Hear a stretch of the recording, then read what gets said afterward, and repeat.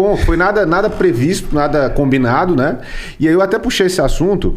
Se o Rogério quiser falar alguma coisa, Rogério, pode me mandar ver aí. Mas eu puxei esse assunto pra gente entrar na questão do Thier, que é um cara que eu, eu lembro que você falou dele comigo, né? Você, pô, eu gosto muito dele, do som dele, da, das composições. É meio que a gente enfim, no meio campo ali a gente acabou fazendo um encontro de vocês ali, não sei se de propósito ou não, mas acabou que vocês se encontraram, não foi? No, na entrada, acho que do show dele aqui na, na Bamboa, eu acho, tu lembra?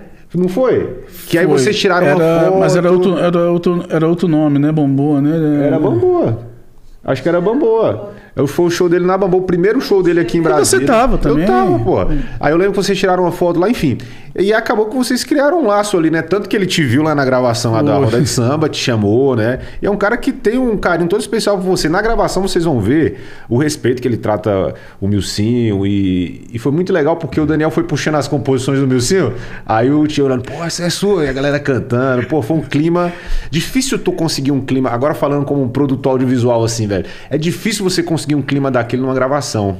Mas não foi por acaso. A gente pensou na- num, num- num formato de gravação que a galera ficasse à vontade e a gente conseguisse transparecer o que a galera gosta, que é a verdade do negócio, né? Porque quando tem a verdade. E eu ali fiquei totalmente. Verdade, eu né, fiquei cara? muito, fiquei muito de cara. Não tinha nada. Não, Não tinha nada programado. eu fui pra curtir um, um pagode do amigo, dos amigos. Numa quarta tarde. Na quarta tarde. É. Tinha nada de me chamar. É. E, e todo mundo que me conhece sabe, cara, se eu vou pro pagode de alguém, cara, não quero estar no palco. Se eu vou pro pagode de alguém, eu quero ficar ali embaixo. Quero, eu, eu fui pra ver o show da rapaziada, não fui pra cantar.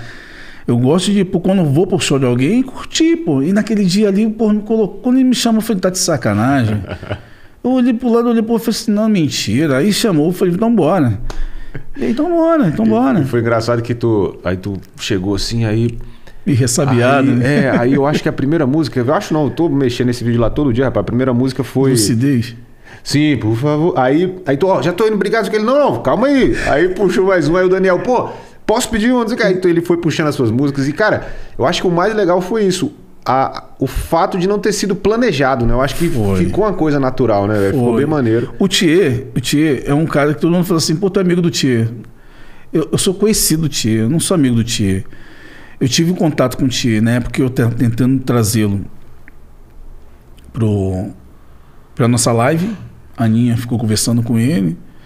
Ah, verdade. É, eu lembro disso. eu tinha iniciado o trabalho nessa mesma cara de pau que eu falei para você, pedi para ele se tinha como ele vir, negociamos para ver se ele via, viria, e aí aconteceu, acho que ele foi fazer uma apresentação do, na live do, do, do Turma do Pagode, não, do Harmonia do Samba, acho que foi fazer a apresentação, alguma coisa, e não pôde vir.